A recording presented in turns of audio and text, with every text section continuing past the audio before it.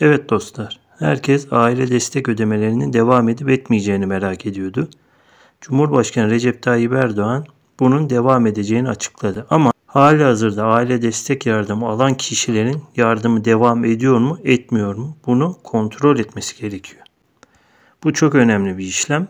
Her zamanki gibi E-Devlet'e giriyoruz. Burada menüden sosyal yardım bilgileri sorgulama menüsüne geçiyoruz.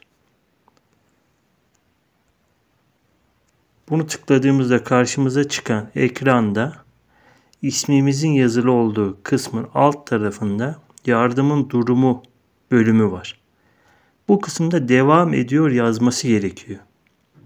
Devam ediyor yazmıyorsa yeniden başvurmanız gerekir. Devam ediyor yazıyorsa şu an için sorun yok. Fakat siz yine de kısa aralıklarla bunun değişip değişmediğini kontrol etmelisiniz.